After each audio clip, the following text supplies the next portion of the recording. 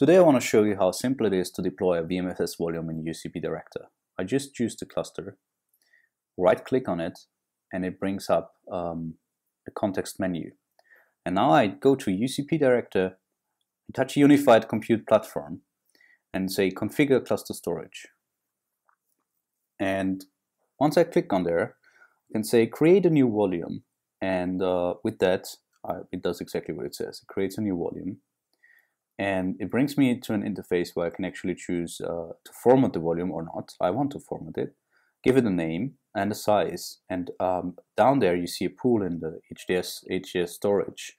And uh, this, this pool actually um, is pre-configured and gives me uh, the, the capacity. I choose the pool and say I want to have a volume that's 500 gig out of this pool. Let's do it. Now, UCP Director will do everything in the converged uh, uh, infrastructure to make sure that this volume is created, fiber channel zoning is done, and the volume is going to be attached to the cluster. So you see that not only UCP Director is every, doing everything, there is also a task at the bottom. So it's completely integrated in vCenter task management. If I click on more tasks, I can also view some details of the task. So it gives me each and every detail what is going on in the converged system completely integrated in the vCenter task management. And you will see soon that every uh, every task, every step UCP Director is doing or the environment is performing will end up in this task list. So the beauty of this is once you have uh, set up a monitoring for your vCenter, you don't have to change it for UCP Director because all the tasks are also in this um, task list of vCenter. So if you monitor your tasks, you're good to go. Now you see there's a lot of information already populated. So you see that there has been a volume created. It gives me the volume ID. And uh, also it tells me that the volume has been assigned to a server. And um, later on, we will also see that uh, the volume um, is also uh, attached using fiber channel zoning if this hasn't been done before. So it's really rich information and of course it goes everything into this task management system of vCenter so it's easy to query and easy to follow as a vSphere administrator. And as you see, it is, it is, it is completed. Uh, it says it's formatted and was created successfully.